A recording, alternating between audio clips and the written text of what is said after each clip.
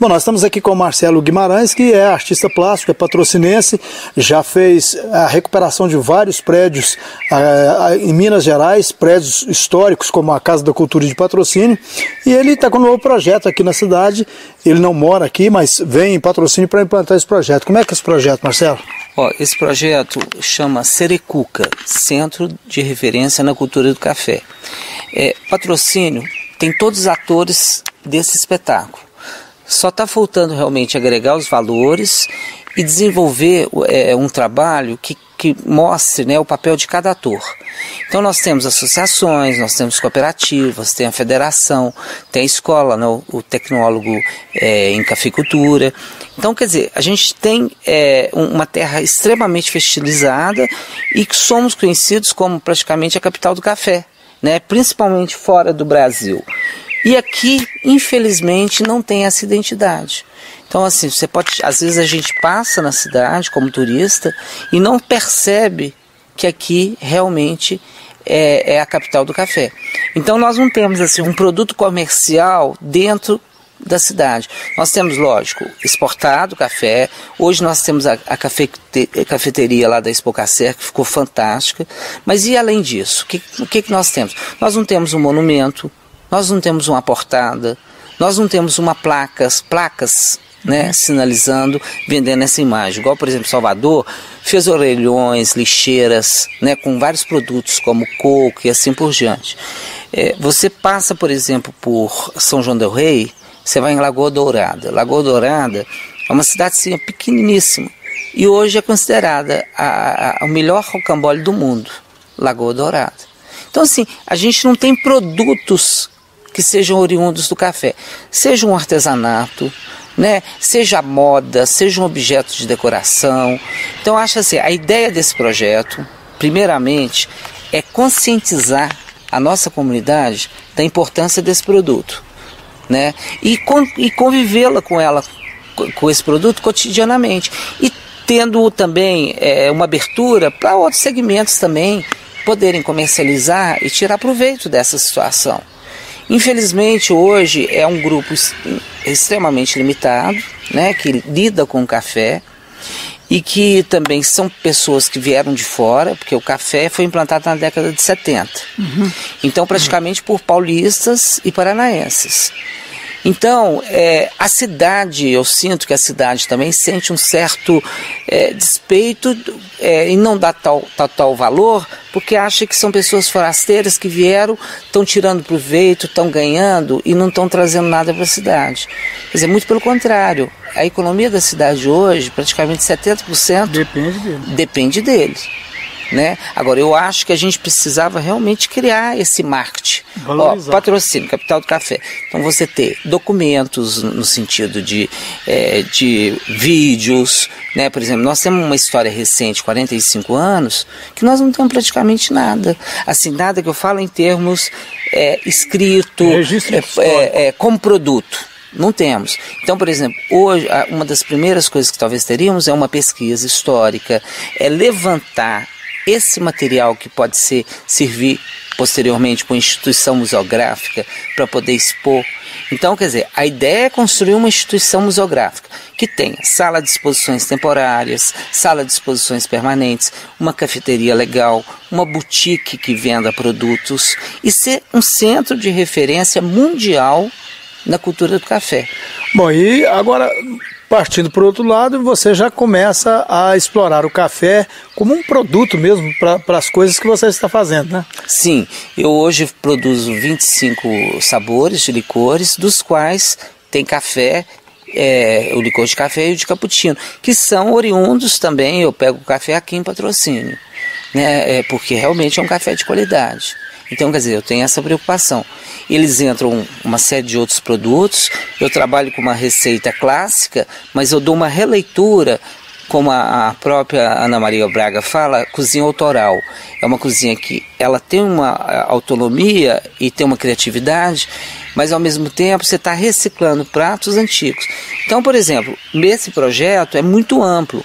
Ele visa, por exemplo, criar o Festival da Canção, o Festival de o Salão de Artes Plásticas da região do Cerrado, né, o, a gastronomia da região do Cerrado, mas isso de uma formatado de uma forma bem organizada, bem profissional. Então eu acho que assim vai agregar muito mais pessoas profissionais que acaba sendo um trabalho interdisciplinar. Né? Hoje nós já temos uma gama de baristas, degustadores, né? provadores de café e, e, e já hoje patrocínio já tem um mercado até muito amplo, mas nós podemos expandir. Agora, você continua também fazendo seu trabalho como artista plástico, como restaurador e, e até já está morando numa casa desse, nesse estilo, né? Sim, sim. Eu, é, eu sempre gostei, né? Igual você falou.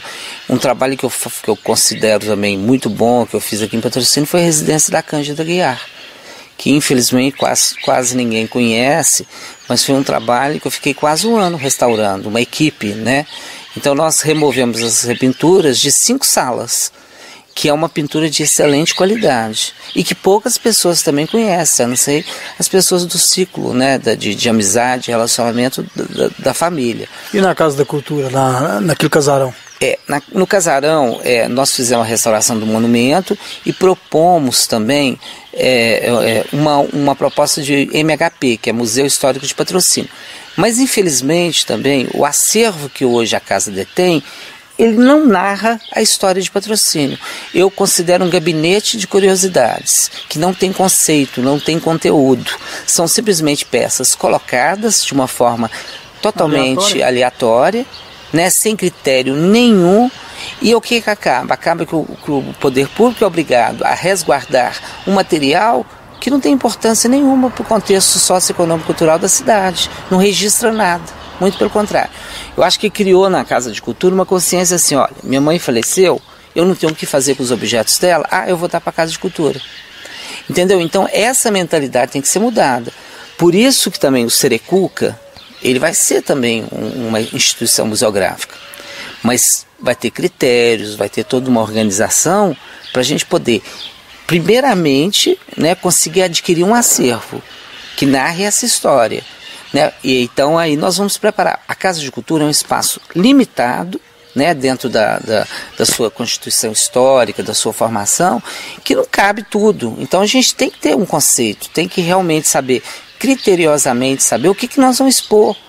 E hoje eu acho que mais do que nunca a internet está aí, né, o material digital está aí, e hoje todo mundo porque é, é computador. Uhum. Então eu acho que o material tem que ser totalmente digitalizado para ter acesso, principalmente pelas instituições pedagógicas, né?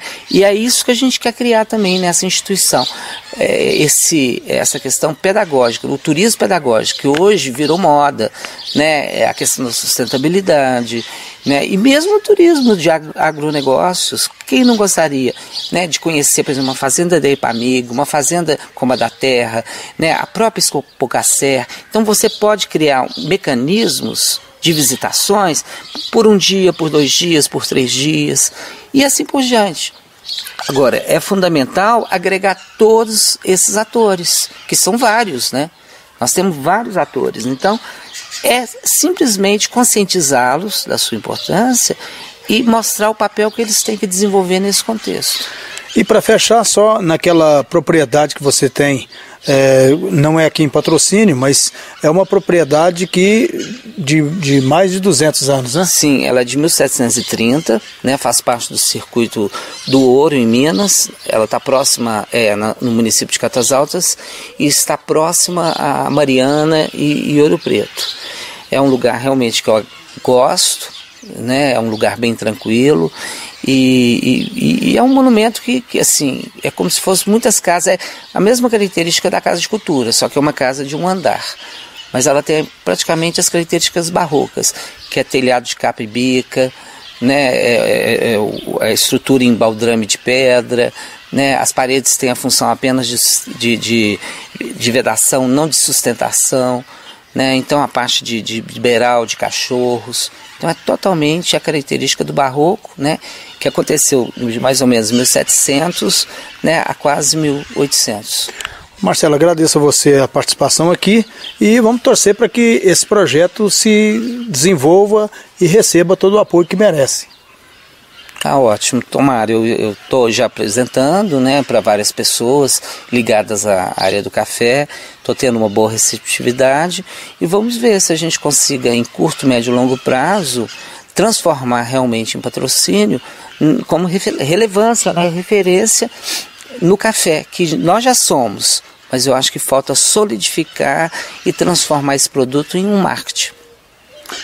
Ok. Luiz Antônio Costa, Rede Hoje.